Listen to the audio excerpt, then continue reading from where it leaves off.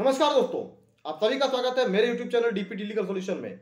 इस चैनल पर आपको मिलते हैं वित्त संबंधी जानकारी वाले वीडियोस और अगर आप कमेंट करते हैं तो मेरे द्वारा उचित सलाह।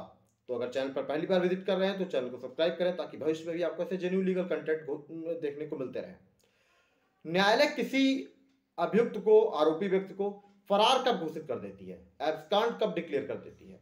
तो फ्रेंड इसके लिए दो कंडीशन है।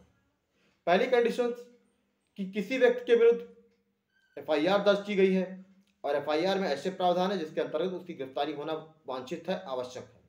और वह व्यक्ति जानबूझकर अपने आप को गिरफ्तारी से बचाने के लिए न्यायालय की सीमा से या पुलिस के पहुँच से दूर हो जाता है। तो यह माना जाएगा कि ऐसा व्यक्ति अपने आप को बचा रहा है या ऐसे व्यक्ति की देश छोड़ देने की संभावना हो। तो ऐसी सिचुएशन में ऐसे व्यक्ति को न्यायालय फरार उद्घोषित कर देती है।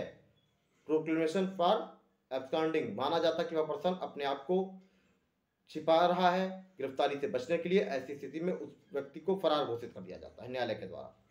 और ये कार्यवाही होती है दंड प्रक्रिया संहिता उन्नीस सौ तिहत्तर की धारा बयासी के अंतर्गत।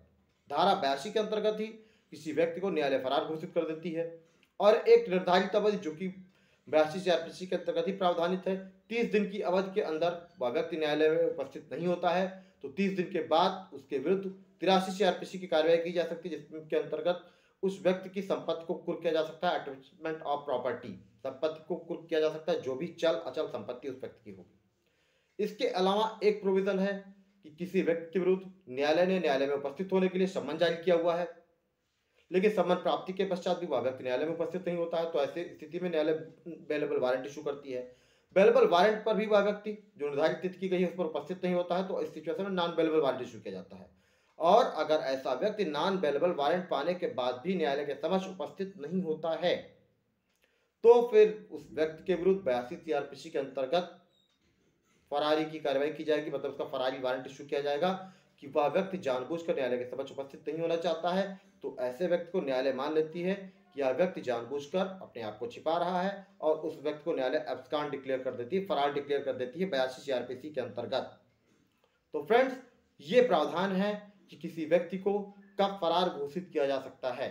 जो व्यक्ति, मान लीजिए, पुलिस अधिकारियों के समक्ष उपस्थित नहीं होता है, जानबूझकर अपने आप को छिपाता है, या न्यायालय से संबंध या वारंट, चाहे अवेलेबल हो या नॉन अवेलेबल वारंट हो, अगर पाने के बाद न्यायालय के समक्ष उपस्थित नहीं होता है तो ऐसे व्यक्ति के विरुद्ध बयासी सीआरपीसी के अंतर्गत फरारी की कार्रवाई की जा सकती है। उस पर्सन को एब्सकान डिक्लेयर किया जा सकता है।